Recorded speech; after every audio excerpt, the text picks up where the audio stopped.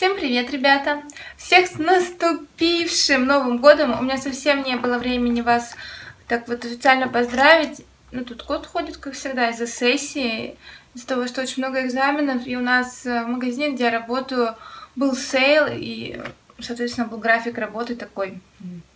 Лапсик. Вот ходит тут лапсик. Ну, давай тогда фокусы показывать.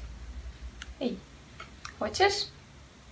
Давай, покажи свою мордочку людям. Да.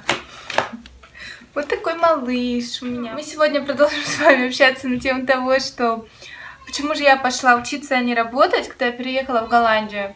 Остановились мы на том, что я получила... Остановились мы на том, что я получила документы, и, соответственно, когда я уже знала, что документы я получу, в ближайшее время я начала поиски работы. Сказать, что у меня была самая завышенная самооценка, это ничего не сказать.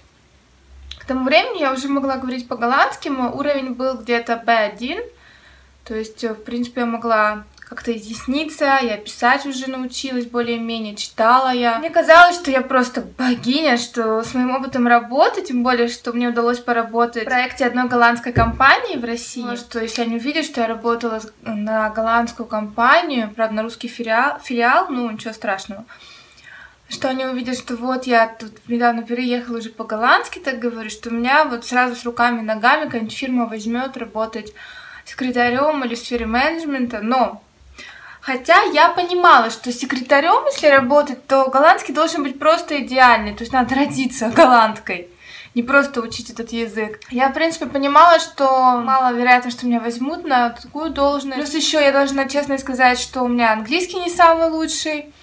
Потому что я в школе не учила. Был такой допотопный советский учебник, и английский был у меня вторым языком. Первым был немецкий.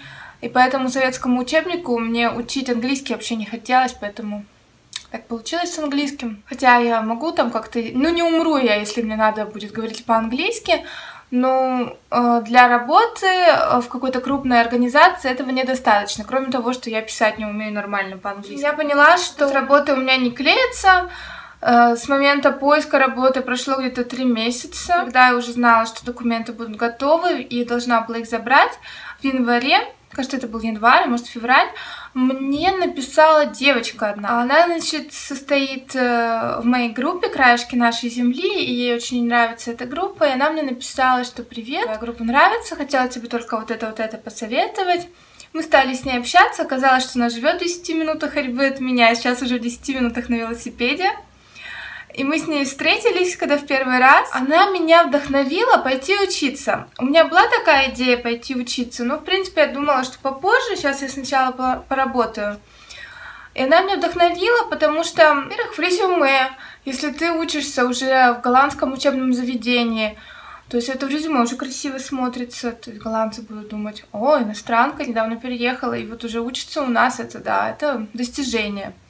Это было первое. Второе, то, что в 2014 году еще можно было получать стипендию от государства, которая покрывала оплату учебы, плюс тебе оставались карманные деньги. Уже с 2015 года можно получить только образовательный кредит. В принципе, эта голландская стипендия, можно считать это, ну, как такая небольшая зарплата. То есть ты за учебу даешь какую-то сумму, и тебе остается обычно где-то 150 евро э, на руки. Я подумала, почему бы и нет. Для этого мне надо было сдать э, голландский язык, естественно. Мне моя новая подруга очень-очень помогла с голландским.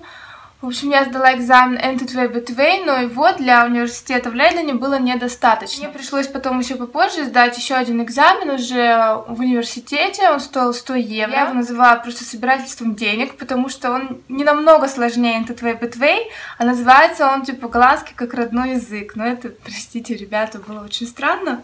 Ну да ладно. Я долго размышляла, на кого мне пойти учиться, хотя не на самом деле не очень долго. Я хотела заниматься языками, так как мне очень нравится лингвистика, литература. Мне надо было выбрать язык. Сначала я посмотрела факультет русского языка. Там очень скучная для меня программа, потому что я уже все умею почти. Решила, что нет, туда не стоит, время терять. И в итоге я посмотрела, э, значит, потом просто лингвистику, но там такая очень общая информация, то есть мне было бы там тоже Ну, что бы я там выучила? Только голландский язык и то, как устроены языки. Потянула бы английский. И я подумала, может, на немецкий в школе учила. Посмо... Посмотрела я немецкий, но меня немецкая литература никогда так сильно не вдохновляла. Потому что на самом деле моим вдохновением всегда был именно французский язык, вот не знаю уж почему. И я пошла на французский. Для французского надо было еще пройти собеседование, я его прошла. Меня взяли учить. Так началась моя учеба. Сейчас уже на втором курсе. Я учусь на бакалавра. Бакалавр длится здесь три года. И можно еще потом пойти в магистратуру на год. Но пока мне три года будет достаточно. Почему, если так обобщить, почему я пошла учиться? Во-первых, подтянуть голландский, английский, заодно выучить еще дополнительный язык и, может быть, еще что-то по ходу пьесы. Потому что Голландия страна, где живет очень много людей, и, в принципе, я уже говорю на языках всех соседних стран с Голландией, то есть я говорю на немецком, на французском, на голландском я говорю, и, ну, могу что-то там по-английски, над английским надо, конечно, еще больше работать. То, что у меня уже есть два высших образования, полученных в России, и я имею представление о работе, в сфере менеджмента, в сфере тренинг-менеджмента. Как-то легче уже ориентироваться в пространстве. Мне стало, после того, как я первый год отучилась, мне стало намного легче себя презентовать э, в обществе. Я сама чувствовала, что как-то что-то меняется, и я уже начинаю более отчетливо понимать, какой будет моя работа. А языки мне, конечно же, нужны как средство коммуникации, потому что если я не буду знать много языков, ну, это для моей будущей работы, то, соответственно, я не смогу так быстро развиваться. Мне одного английского будет мало. Кроме того, я выбрала Францию, французский язык, потому что французы не очень хорошо владеют английским. Плюс еще есть Бельгия, где бельгийцы, например, некоторые понимают по-голландски, но они лучше говорят по-французски. Я могу работать с каким-то бельгийско-французским может быть, швейцарским рынком и так далее. Ну, это, ребята, я реально люблю языки, я их обожаю. Я кайфую от этого этот мир лингвистики, этот мир языков, мир литературы на иностранном языке.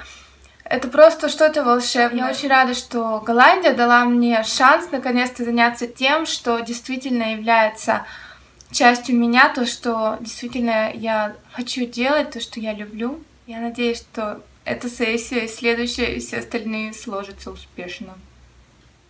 Ребят, забыла совсем добавить, что если вас интересует э, что-то об учебе в Голландии, может быть, вы хотите узнать больше о моих одногруппниках, как вообще с голландцами я сжилась в одной группе, потому что я одна у них такая, экзотический фрукт. И м, вообще, как учеба проходит, как экзамены и прочее, вы не стесняйтесь, пишите в комментариях, что вас интересует, а я уже буду дальше развивать эту тему специально для вас. Спасибо вам еще раз, всех целую, обнимаю, пока-пока.